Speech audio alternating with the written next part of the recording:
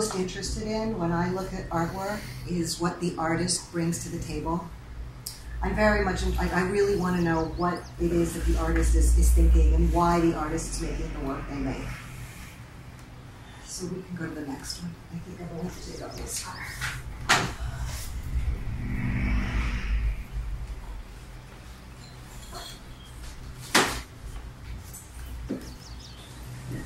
So a lot of my work is about looking. It's about watching and looking, um, and it's about deciphering an encounter.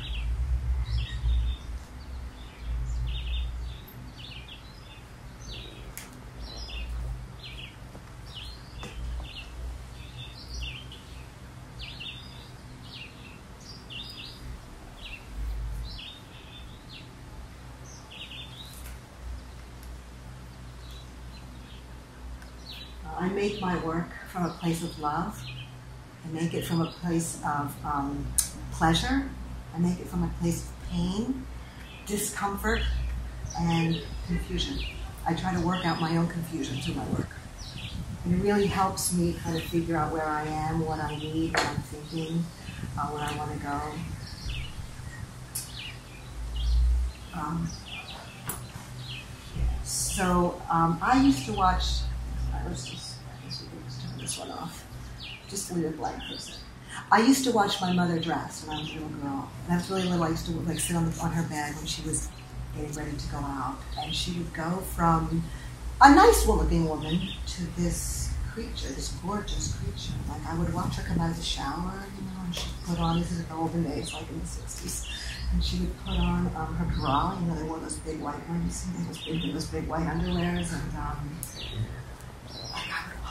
And like all of a sudden, like her stomach would be pulled in, she'd wear a girdle, and at a certain point, I remember she had this yellow dress, this canary yellow dress with short sleeves and buttons, and I would watch her put it on, and I was like, wow, I couldn't believe it. She had turned into like a vision. You know, and I would, she put her lipstick on, literally would become somebody else. You know, I, I, I, it was incredible. She was, she was a beautiful woman, but the way, but in my eyes, she was a queen. And um, I wanted to be close to her. Like I really wanted to be close to her, so I would watch. Um, even like we'd be sitting in the car sometimes, and I'd be sitting in the back seat. We'd drive through the bank because we had these drive-through banks in those days. And like right as we got to the bank, and we'd be waiting in line, and she would put on her lipstick. She would turn into somebody else. It was it was an amazing thing. I tell you these stories, these sort of stupid stories, because I think that that really had something to do with how I photograph and why I photograph, and why mostly through the camera I'm really fascinated by watching, just like looking. And so most of my work is made from a place where the two of us, the person in front of me, and then I sit there and look at each other, and we just like we watch each other, and we get to know each other, and I get to know who they are, and they get to know who I am, in some some sort of way we become close. And so my work is so much about longing, and I think a lot of it comes from like longing for my mother at a very young age and wanting to be so close that we would never be separated. Taking pictures of someone, taking a portrait of someone literally puts you in that place, like this very, very intimate space. And so I think ultimately what I'm really doing is creating a very intimate space, a, little, a place where the two of us can be, can be very, very close, almost as if we're one. Um, so we can look at the next slide. Easier. Oh, right, that's me. Yeah, yeah, me. Um, it's, it's endlessly fascinating for me to put someone in front of my camera and just to sit there and watch them. Um, and so I'm going to start with these new series I did with my two latest series. One is called Sleeping Beauty, and the other one is called Promised Land. And Sleeping Beauty is, um, well, for one thing, it draws on my early experiences with my mother. It's almost as if in, my, in all of my work, and I, I'm guessing that this is fairly common, we all like sort of recycle childhood memories. Like that's kind of we, what we sort of we return them over and over again, and we try to figure something out. Um, and so it's when I say it's endlessly fascinating, it's endlessly fascinating because I'm always learning about myself when I take photographs. And as much as I make portraits, and portraits is what I'm known for, I only say that my photographs aren't, my portraits aren't really faithful documents. I mean, I look and I'm very sensitive to who they are, and certainly a lot of them comes through, but um, they're not I don't think they're faithful documents of the person I'm photographing. They're really much more about. It's like as if you've. I don't know if you know. You guys do Venn diagrams in, in over here. It's like there's these two circles, and there's that place in between. I feel like my portraits are in the middle, like where my personality and my vulnerabilities intersect with their personality and their vulnerabilities. Um, so, um, so what I'm doing when I'm photographing is I am establishing an intimate connection. Um, so in this particular series that I call Sleeping Beauty, Sleeping Beauty stands for um, it's it's about that. It's like a metaphor for that kind of fragile and ferocious strength that we keep hidden inside of us. Like that we, so that somehow keep the, the piece that we hide from the world, but really if we brought it up and we brought it out, it would really be our full, whole, strong selves. So Sleeping Beauty kind of stands for that piece that's sleeping, a sort of sleeping giant in a way. It's, it's kind of a, like an irony, an ironic kind of a thing.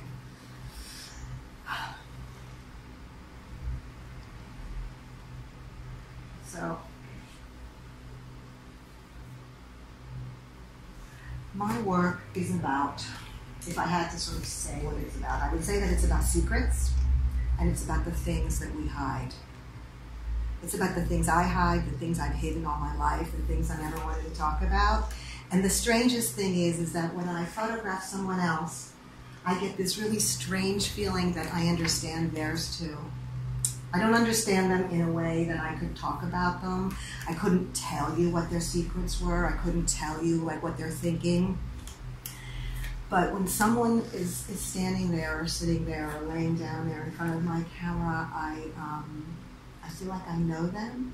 I feel like there's something that happens between us that's so intimate and so personal that I understand something very, very basic about who they are. I understand a piece of their soul and it's that piece that's that I understand as my piece too. It's that piece where our piece, where our souls sort of intersect.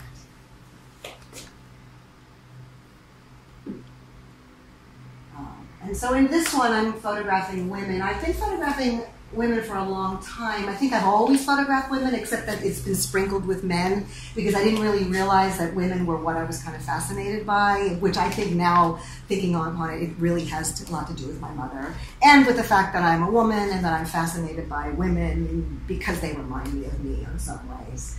But um, this particular series is about women, and, and, it is a lot about how a lot of us have been kind of trained to um, kind of hide like a lot of our strengths, kind of keep them sort of a little bit like underground, like without, so we don't completely bring them out and use them because being too strong is sometimes, well, it's not that it is dangerous, I think it feels dangerous.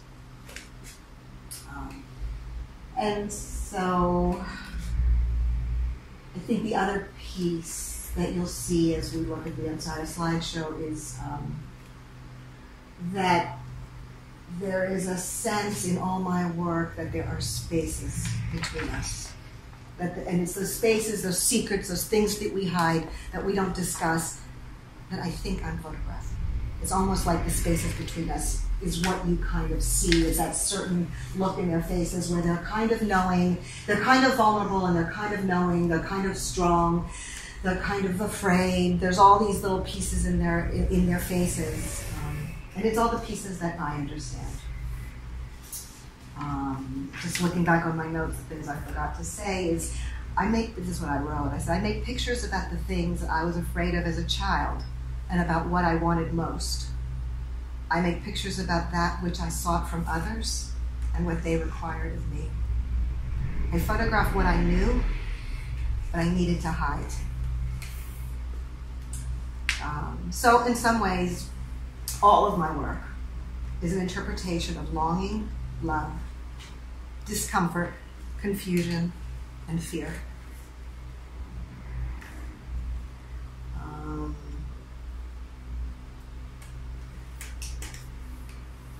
and again, sort of back to this, these, these images of Sleeping Beauty. I think one of the other things that these particular works are about, all of the women are laying on the ground for the most part. They're laying on the ground. They're vulnerable, but while but in their vulnerability, there's also kind of awareness, like they know and they know that there's something that they should be able to kind of summon a certain kind of strength. They should be able to summon and kind of bring up. Um, so there is a sense of vulnerability, but there's also a sense of, of awareness. Um, and it's, I guess it's really about those vulnerabilities that we kind of keep hidden because we don't want to expose them. That's a video.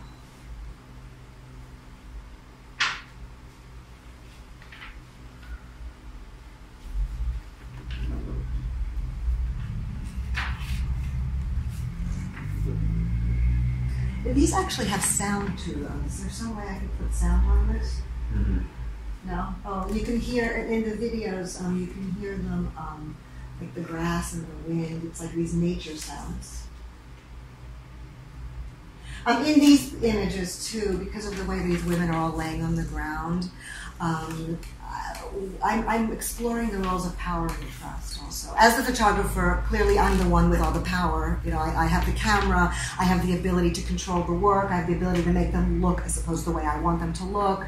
Um, and so there is this, I'm the, I'm the, I become in some ways the authority position. I take the, masculine sort of role. So I, I'm kind of working with this whole notion of power and trust. So I, I am the person with the camera, I am the person with the control. At the same time, I completely sort of understand the role of being the woman on the ground, the one that's on the. So there's all these like flipping, and, and again, you'll see this in all of my work. There is a sense that we, I, I go back and forth between having the power and, and, and wanting the power, and being the person who's being photographed, literally identifying, because that's I tend to identify with the person that's that's photographing also.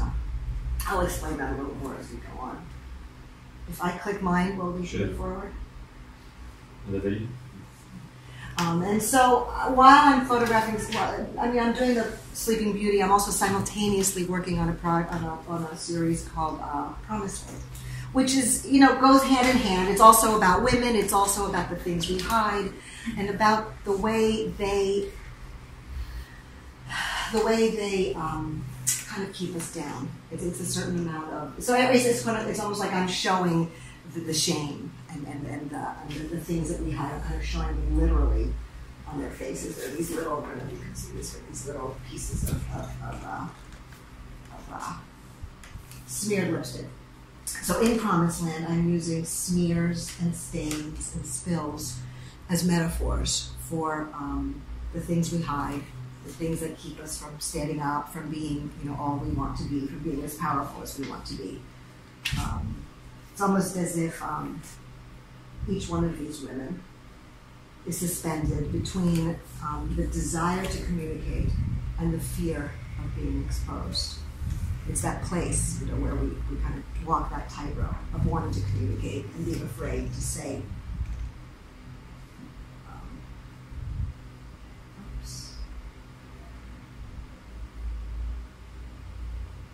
to uh, to expose, you know, basically uh, keeping our strengths kind of hidden.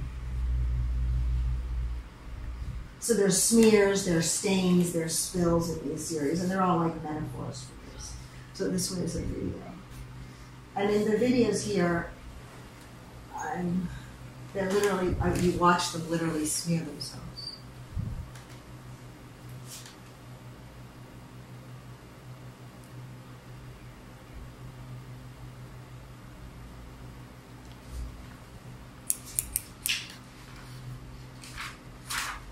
This one it does have really interesting sound. She's like clicks the lipstick and it, it, it, it does. Mm-hmm. No.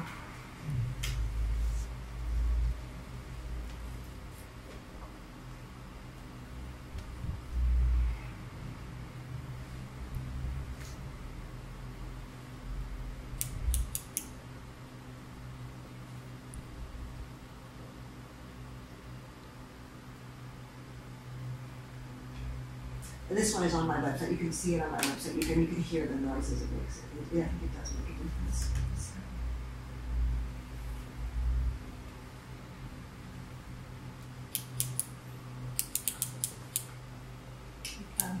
Okay, so yeah.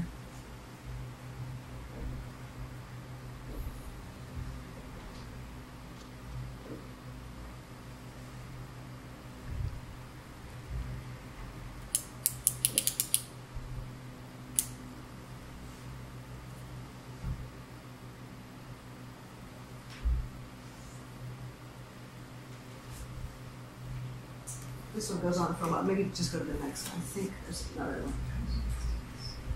Yeah. Maybe should go to the next.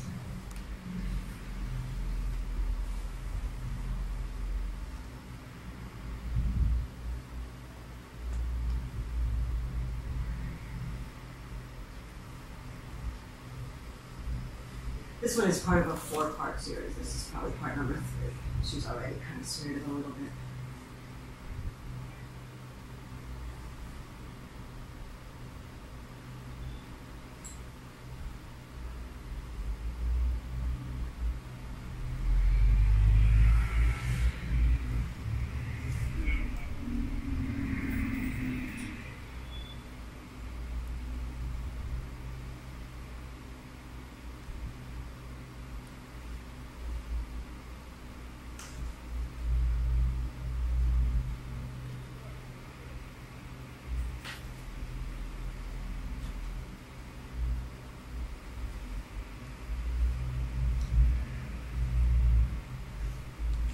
And then she just kind of looks at you. You know, she's just looking at you with all her her fears kind of written on her face.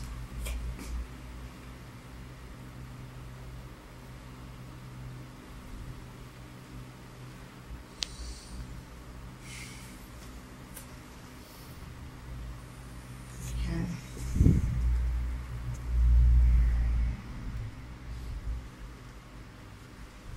Uh, yeah, this is part of the series. Uh, one of the things is um, that some of my work is a lot of my work is influenced by old painting, old Dutch and Italian painting, and that's um, part of like these these black backgrounds. I'll show you later on. I have a few slides of, of older paintings. Um, I'm, very much influenced by that work. I love the sort of severity of it, the simplicity of it, the dark backgrounds, where all of the focus is completely on like the expressions of these women, their emotions. So the exploration of who we are and what we want to become. Is there ever any other subject?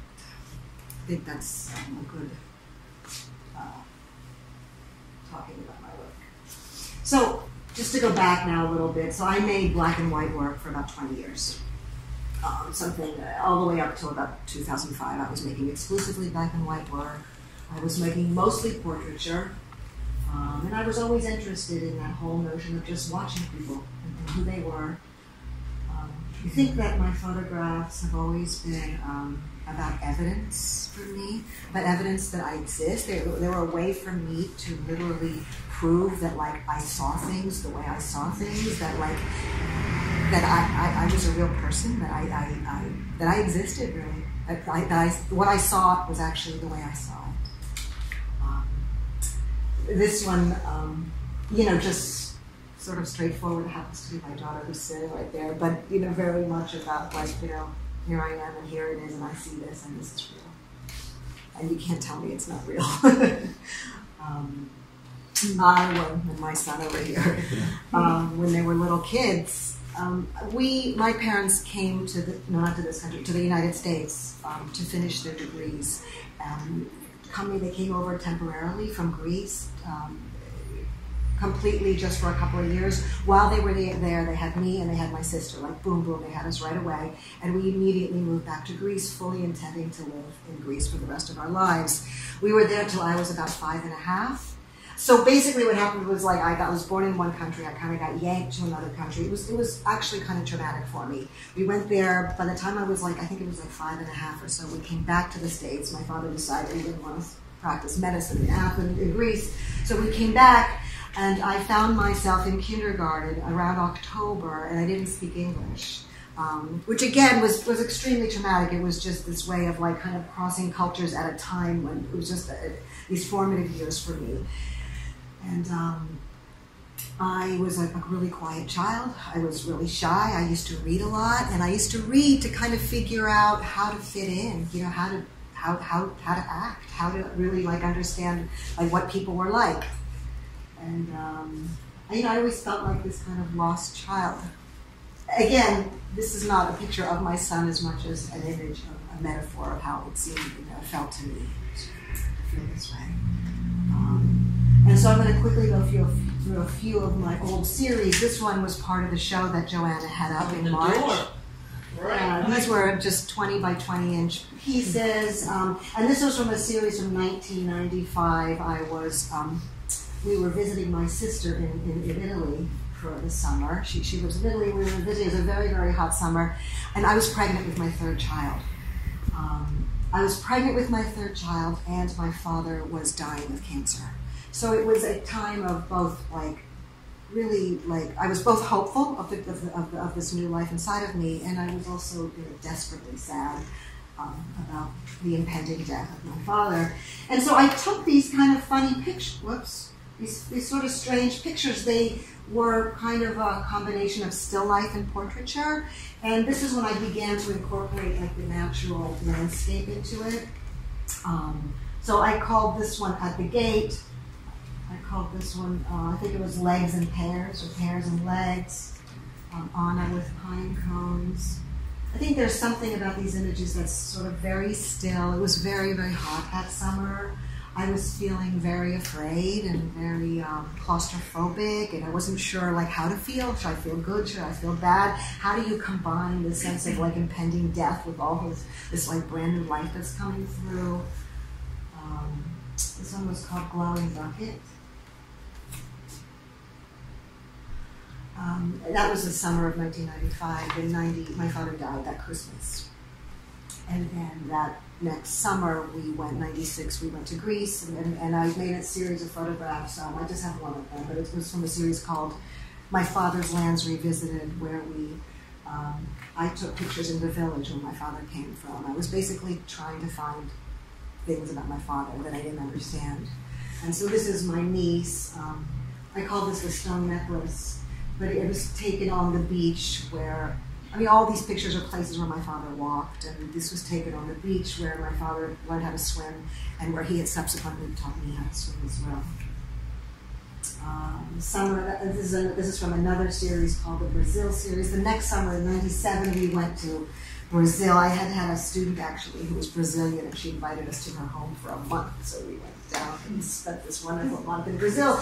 And I was again somehow influenced by the landscape there. Landscape has always held a great amount of, of interest for me. Um, and this one I called Icarus. This is again of Lucas over here. Um, it's called Icarus. Um, it was about the boy who flew too close to the sun and the danger of flying too high. Um, this one was called Voodoo. There was a lot of like voodoo in Brazil. They, they believed in all kinds of really kind of weird things. And my mother used to also from Greece. Uh, she was Greek from like the Turkish part, of, like the Turkish. I mean, she was Greek, but they were the Greeks from Turkey, and she, there were a lot of superstitions that ran in that family too. And that those things all kind of crossed my mind and kind of became part of these photographs. This was a little diptych I did from the Brazil series. I call this one the shield, and I call this one the thin line.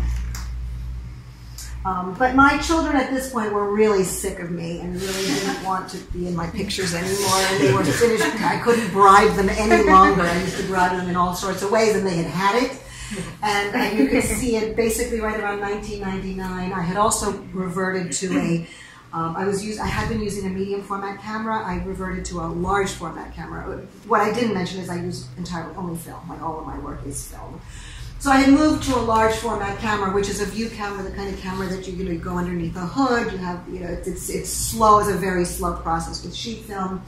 They were not having much to do with it. These are the two younger ones now, my daughter and the little one. And um, what happens was I was just photographing limbs. They were really pulling out, and you can see in this whole series. They, they, their faces were just not, they were not giving me good faces, so I was kind of, they were just attitude, you know, all over the place.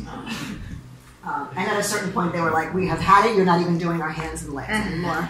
so for about five years, from about 2000 to about 2005, I spent a long period of time making still lifes, um, conceptual still lifes. At this point, I had three little kids.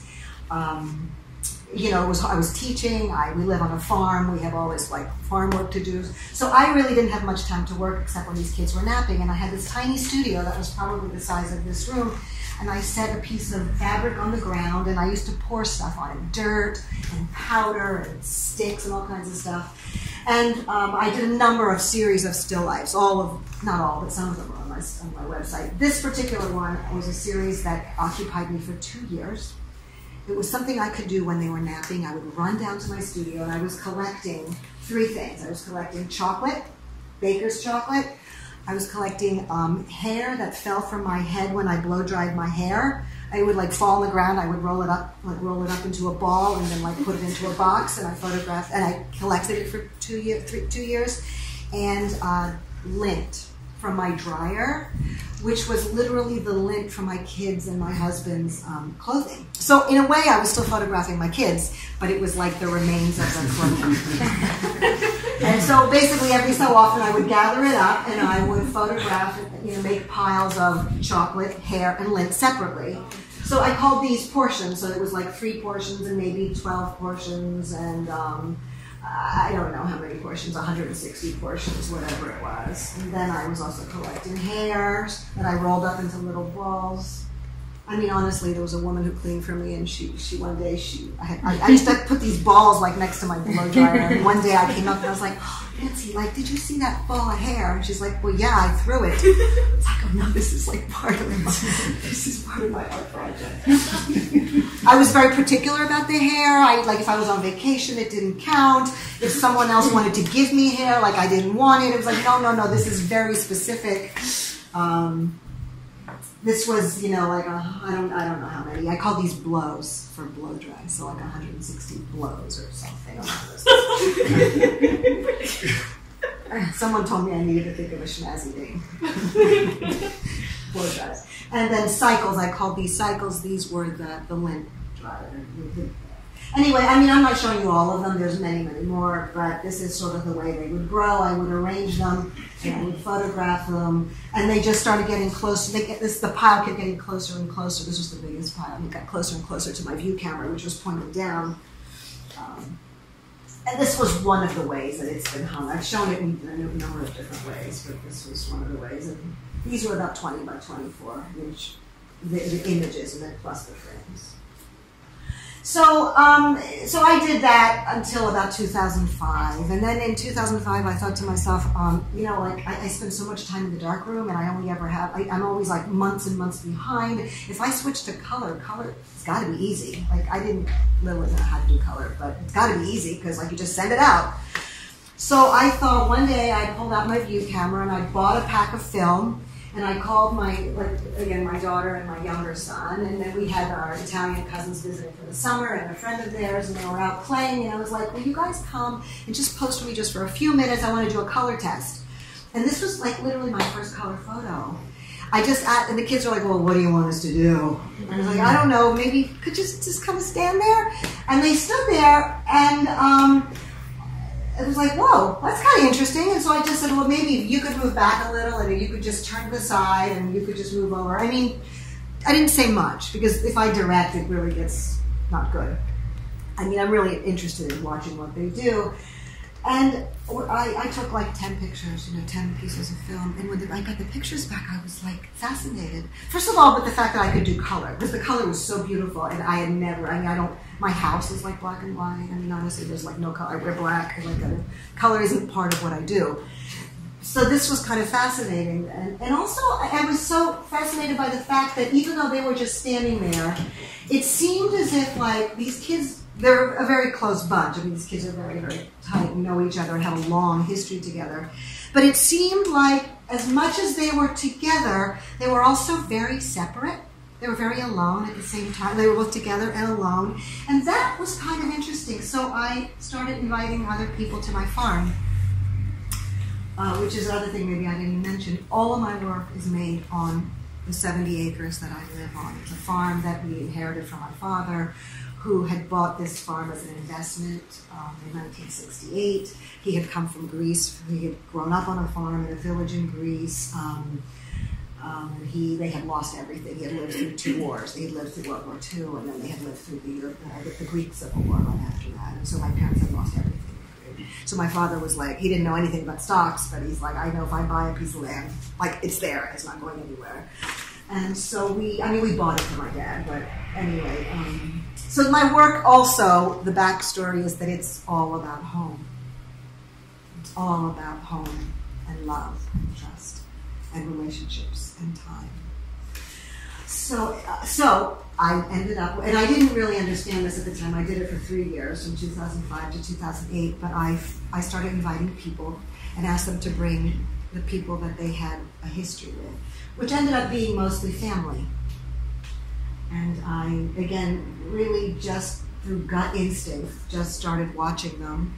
And I, I mean, I would go to portfolio reviews like in 2006, like a year in, and really, I, I didn't know what I was doing.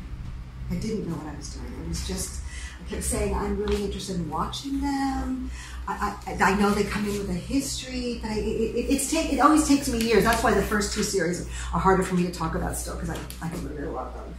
But um, I, I, I know now that I'm really, really interested in this notion of like families and watching people together and how people interact together, how, how people see one another, how people see themselves in relationship to other people.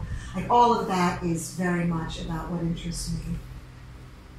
You know, how they've interrupted. Like in this one, I mean, I think it's kind of interesting that the younger woman puts a calming hand on the shoulder of the older woman. It, seems like it should be the other way around, um, but this one seems a little bit more exciting. Um, this one I called Sisters. There was a third sister, and this was the only picture that she wasn't in, and I felt horribly guilty not including the third sister. But this was the picture that worked for me. Um, you know, for me, these, this one was a student of mine, and she brought her sister, and I, I did not ask them to wear fancy dresses. They just did. Um, but they remind me of my sister and I when we were little. My mother used to dress us in really fancy dresses and take pictures of us. And we would stand there like all nerd like and like kind of like, oh, and my mother would be like, smile! And we'd be like, oh, you know, and we'd be uncomfortable and we didn't want to smile.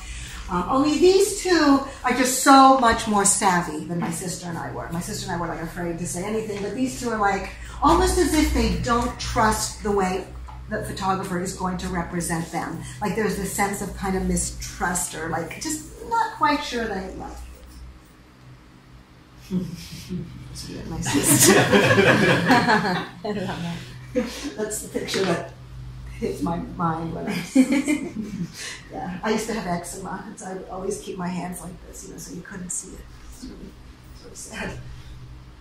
Um, this one was called Portrait of a Young Man sort of mostly focused on him. But again, it's a family. And um, I, it's, you know, for me, this image talks to the point of how one member in the family often carries the weight of the family, you know, most visibly. And this one happens to be my husband and son who are sitting in this room. Uh, most of my photographs of adult children and their parents are very much about separating, about the separation that has to happen, that inevitable separation is another one, a mother and daughter. You know, you can sort of see the similarities and the differences. She's so restrained, and she's and the mom's really like out there, and yet you can also see that on some level, at some point, I sense that she's going to be just as strong as her mom. So it's called family. This one has a long, kind of interesting history. You know, this the middle one was a student of mine. She had they had come to one of my openings, and I was like, wow, I'd love to photograph you guys. And it ended up that these two girls had been separated from their mother at very young. Um, I think they were different fathers, obviously they were different fathers. Um, they had just kind of come together. They had just started to like meet up again. It was it was kind of a painful story. And to be honest, I felt terrible pushing the mom back there, but I, I, I, I couldn't get the picture. She was up front, and I could see she wasn't happy. Um, and those are the kinds of things that make me feel bad because I, I honestly care. I care when I'm taking pictures. I don't want you to feel bad. Um, I called this one Amy Lubzeski and her sister. And for me, this image is so much about how one sister is looking and the other one's got her eyes closed. how some members of the family are literally like see what's going on, and others of us close our eyes to to um, what's happening. Um, so one of the things that I have done and I continue to do is I go from like whatever the parameters are of a particular body of work I'm working on. After I'm done with it and I feel like I'm just, I, I, have exhausted this topic, I want to do something to challenge myself. And so I went from group photographs, horizontal, outside, to interior or studio photographs with one person with a, this is actually a square format camera. Um, and I started this by chance. This was the little Italian nephew who was visiting one night for dinner. We were sitting out back, and he was wearing that blouse, that T-shirt, and um, he had the he had that little. I had put the melon next to him because I was going to cut it up for dessert. But as he was sitting there at dinner, I, I said to my, him, Marcello, you look so good with that melon. I said, you know, we're not going to have this for dessert. We're going to have something else. And I said, tomorrow I'm taking you into the studio and I'm going to put you in front of this thing. I hear you know, kicking and screaming. He, he came in. Um, he, took, he goes, what do you want me to do? I said, I, I don't know. I, I, just, I don't know. I just have this sense. I just kind of, just, would you just sit there for me? And he did. And he ran out afterward. He ran out of the studio. I was like, okay, I'm going to try this again because the picture came back and it was really interesting. And so then I, I picked some mint from the garden. I pulled out my daughter. I was like, could you do this for me too? And I did this for a year. I started inviting people I knew, people, friends of friends, just people. And um, I would have an array of things in my studio, whatever was available at the market. And, um, well, and I, for a year, I photographed people holding different kinds of food. Um, I probably obvious by now. My influences do a lot of my influences old Dutch and Italian painting. Just that sort of sort of simple, severe focus on face and and and and, and um, expression.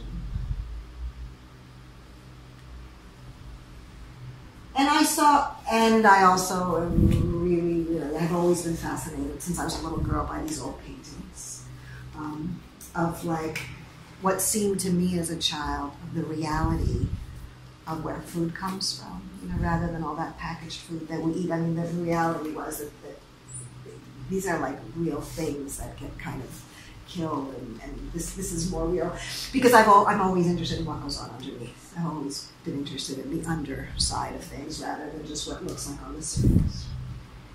And so for me, I thought they were just a little humorous too because they're a combination of portraiture and still life. Um, and the expressions are all, they vary. Um, some of them are defiant, some of them are more uh, uh, uh, fragile, you know, sensitive. They kind of run the gamut. Um, sometimes you see the emotion, you know, in the way they hold it. I think if you asked me um, about portraiture, people often say to me, well, why don't you just do self portraits? And I say, well, I do. Like, to me, these are self portraits. You see them, you know, each series really kind of wants to be seen as a group, as a series, because as a series, they, they speak of a story. And the story is often this, this variety of emotions that I feel like are all emotions that, that are all make up, you know, my entire self.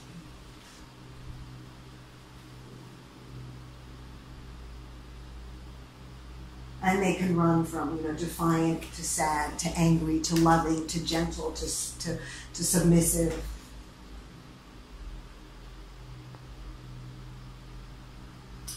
Um, this comes from another series I did in 2000 so that that that the last series was called falling from grace.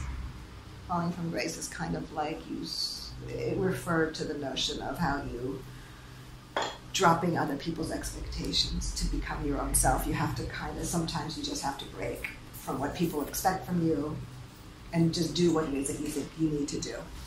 Then, so then in 2000, that was 2009, 2010, 2011, I worked on a series called Something Like Love, and I photographed again um, people asking them to bring whoever they wanted.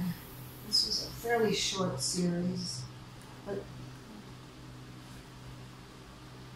And then in 2012, I, I wanted to, I decided to stop this one because it felt a little bit too similar to my last one. And I, I was up in, I had just read a book, there's a book called um, The Sargent's Daughters. It's about this John Singer Sargent painting. It's an entire novel on the psychology of this painting. It's, it's pretty fascinating about this, these four sisters and their mother and their, their very flamboyant mother and how John Singer Sargent saw these four little girls and almost predicted the future in a way. So incredibly prescient, um, so sensitive. So I went up to Boston to see this painting. It's big. And when I was up there, there was like two rooms in the Museum of Fine Arts in Boston of all his paintings, and I was fascinated. And I was just about to start a new series. and so the reason this is the reason that my work is called After Sargent, mostly because I was so interested in his um, in his ability to really kind of hone in on other people's psyches, um, and that's you know what fascinates me. So these were two sisters, twins actually, from the series After Sargent.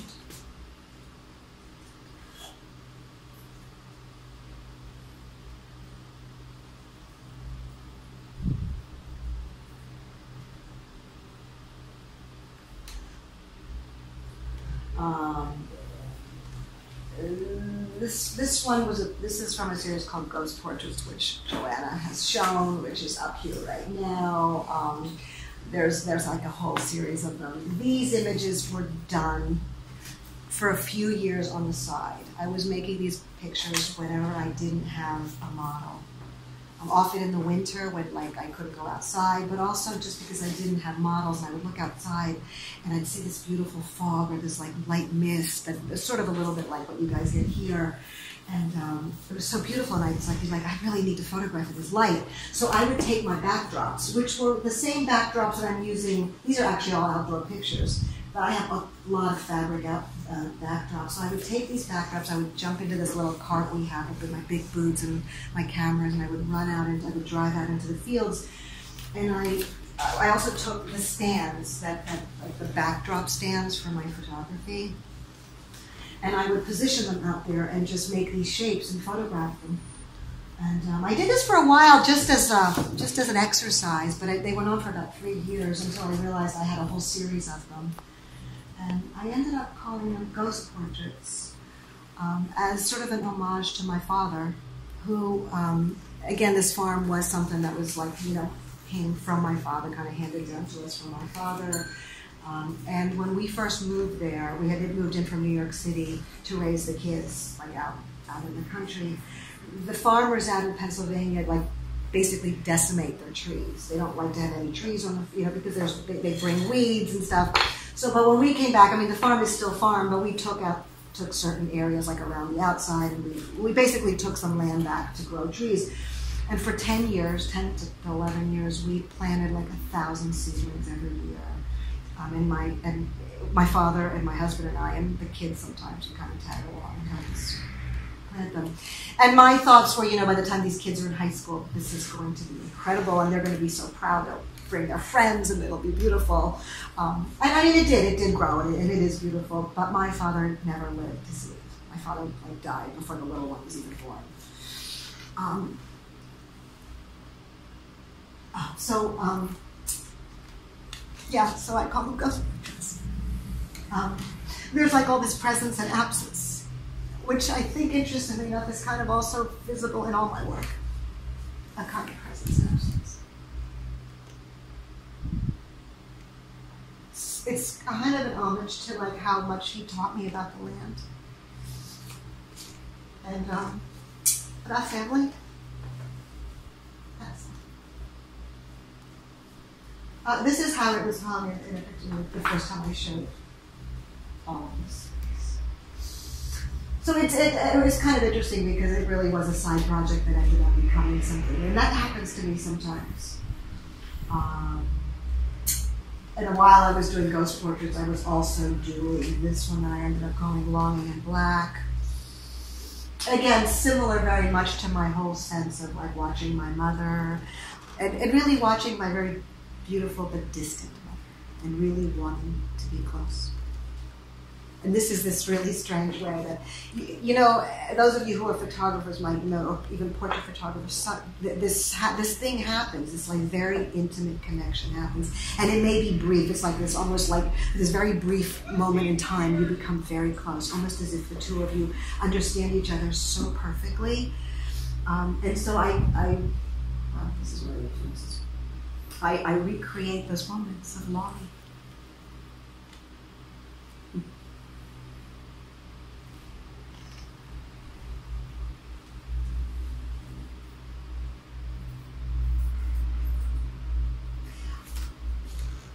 And I think part of the way this happens is that when someone is standing in front of my camera or sitting or whatever, when someone is in front of my lens, I get so, I get so emotionally involved that they become like we start to switch roles. We start to switch all kinds of roles. So like they become when I'm looking at them, they become me as a child.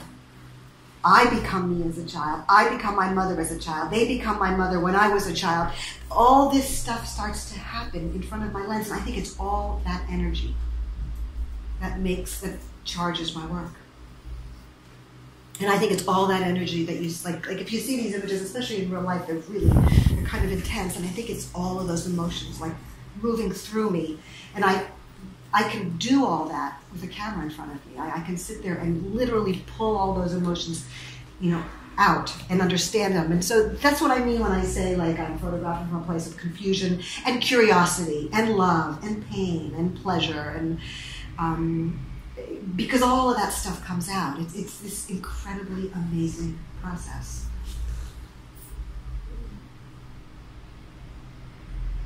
Um, then just winding down, this is a series I did fairly recently.